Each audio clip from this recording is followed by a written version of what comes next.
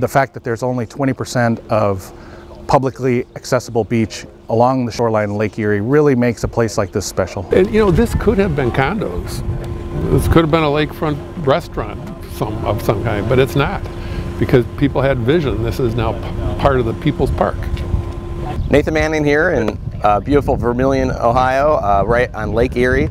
Uh, talking about the capital budget and all the great things that we're able to, to help both Erie and Lorain County with and uh, working with Mayor Forthofer uh, to preserve this beautiful land and, and help improve it. Uh, it really shows what capital budget can do when you're teaming up with local officials to get these great projects done. Which is going to be the walkways, starting right about here winding up and around the hill, coming down across by the uh, lighthouse, all the way down the beach over to the river. You've seen how beautiful it is here and how important it is for, for families and generations to come here and uh, enjoy this beautiful lake. We have really been honored and, and pleased to see that we've received such great support from the Ohio State Senate and the House it's tremendous to see that there's a lot of public uh, funding that's coming towards this project because it really is a project that's meant for the public. The view is just phenomenal. Yeah. Now it's everybody's. Lake Erie is so important to, to us as a community, but to us as a state as well. It's really a great resource uh, for, for many things, and with H2 Ohio and other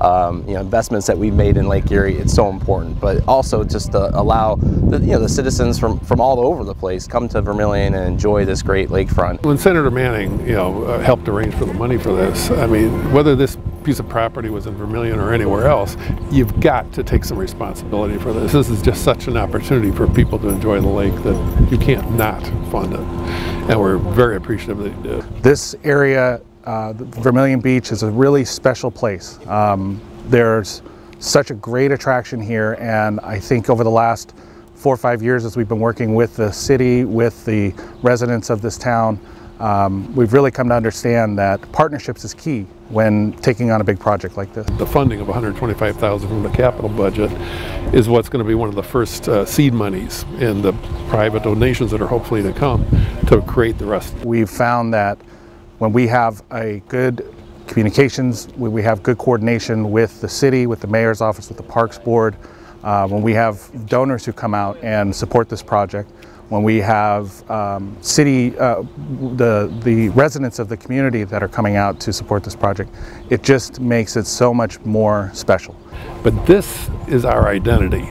I mean, this is why Vermilion was founded, where the river and the lake meet. That's what became the boat building enterprises back in the early 1800s, and then fishing enterprises. So this is our identity. We can never let that go to turn this, this gem in Vermilion into a shining bright diamond has been a real honor and a real pleasure for us. I just came from a meeting where they were talking about having Sunday concerts. They're moving them from a inside park to down down here right next to the uh, lighthouse. This is our identity, and yeah. you just can't ignore it. This is how Vermilion was founded. This is what made us. So, thank you for your help.